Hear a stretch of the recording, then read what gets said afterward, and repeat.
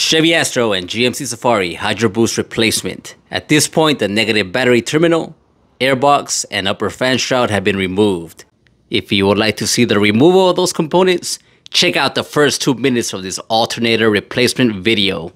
Remove the two bolts holding the power steering reservoir and two bolts holding the fuse box, socket size 10mm. To access the bolts on the fuse box, press in the tabs on the side and lift up. Use a bungee cord and hold the fuse box away from the work area. Disconnect the three items that go into the Hydro Boost, two lines, one hose. Two lines, one hose. Move this hose clamp. You might need hose grip pliers to break that bond. The return line on the left takes an 18mm wrench and use a 16mm wrench on the other. Have a drip pan in place and a bunch of rags. Make sure not to spill any power steering fluid onto your belt. We're going to disconnect the master cylinder from the hydro boost. Two nuts hold it in place. What you need to do is have a 13 millimeter wrench.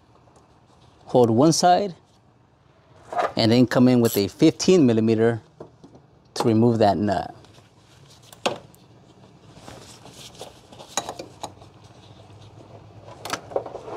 And as you can see, I have plenty of space. This AC line is not getting in the way. On the other side, same deal. Hold the stud with the 13 millimeter wrench. And you can come from the bottom with a 15 millimeter socket, 6 inch extension. Makes it much easier. Next, we move on to the driver's footwell area. Follow the push rod that comes from the Hydro Boost. You'll see this retainer securing the brake pedal, push rod, and brake switch. Using a flathead screwdriver, you'll wedge it in between this rim and the top clip. You're basically prying open the top portion. Then you push out the retainer. As you can see, it's easy to slip off. Pry up and push. The metal retainer has two half holes. We're basically pushing that rusty rod from the small half to the larger half.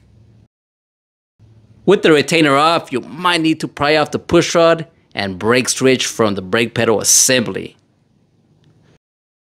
While in this area, use a 15mm socket to remove the four booster mounting nuts. The bottom two are easily accessible. I used a deep socket and a 6 inch extension for the top two. Since we have the upper fan shroud removed, the master cylinder should have no issues disconnecting from the hydro boost. See, plenty of space. It's recommended to use a bungee cord to hold down the master cylinder and to have an assistant help with the removal and replacement of the Hydro Boost. The new unit comes with a warning. It says to reuse the master cylinder push rod, plastic washer, spring, and retainer from the original Hydro Boost. Not to be confused with the push rod that's on the driver's footwell area. The parts are these guys right here. Clean them before transferring. To get them out, line up the retainer with the keyway on the bore, slide that half up, and pry the other end. Make sure you hold the retainer because it can go flying off.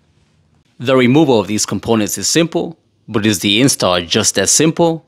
Let's find out. Get the rod in the middle, yeah, and then just brute force it. And there you go.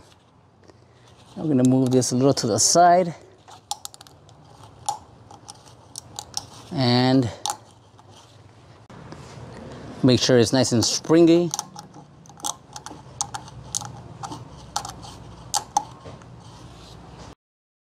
I could not find a replacement firewall gasket, but the one that's on there seems to be in good condition, so it's going to be reused. After carefully, carefully setting in the new Hydro Boost, reassemble the brake switch, push rod, and brake pedal assembly. The Hydro Boost push rod goes in between the plastic brake switch.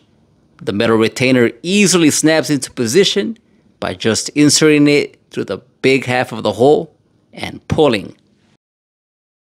The four booster mounting nuts are torqued to 27 foot-pounds. This Hydro Boost comes with replacement O-rings for the two lines. This unit fits the 96 to 02 Astro and Safari. The other version fits the 03 to 05 Astro and Safari. It looks like the later version has a much longer accumulator. So, what are you going to do with all that accumulator? The master cylinder mounting nuts are torqued to 27 foot-pounds, and the two fittings are torqued to 20 foot-pounds if you can. I snug them up. And you got it from here, right? Get the fuse box back on there, reservoir, etc. If you want a more in-depth explanation, Eric the Car Guy has a fantastic video on this same job. If you want to flush the system, DIY with Dave has really, really good info on that. Last part would be bleeding the power steering system. We did not open the master cylinder, so no bleeding the brakes. GM's procedure for bleeding the power steering system is to raise the front wheels, engine not running, then turn the steering wheel lock to lock at least 20 times while having an assistant check the fluid. Once that is satisfactory, start the engine and keep checking the fluid. Lower the front wheels and keep the engine running for 2 minutes while turning the steering wheel in both directions. And that should do it. See you next time in another Astro Safari video.